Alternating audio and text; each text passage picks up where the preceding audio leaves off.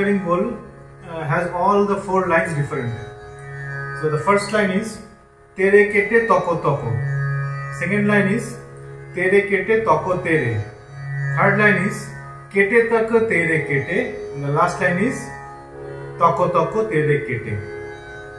Again, I'll repeat. So first line is Tere kete toko toko. Second line is Tere kete toko tere. Third line is Kete tak tere kete. And the last line is Toko toko tere kete.